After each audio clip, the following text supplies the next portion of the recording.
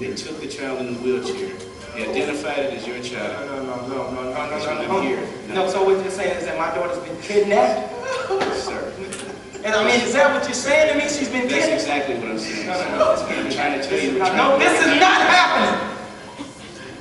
Just calm down. Listen, I need to know if you know anything, anything at all. Have you got any phone calls, any notes, I have no anything? information on anything. I don't know what's going on. This don't make sense. Lisa, what, else? Did did they tell you anything? Well, as I was talking to the coach, he stated to me that you guys were having some problems here at home. Everything around here is all right. Everything here is fine. So this is what I'm not understanding.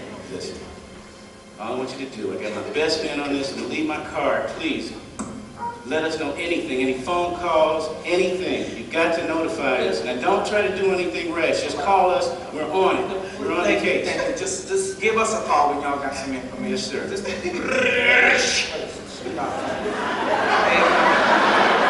I'm not. Are you okay, baby? Did they hurt Excuse me, excuse me. Let me look at you. Mrs. Johnson, Mrs. Johnson, your husband found the hideout. He called us, but when we got there, it was too late,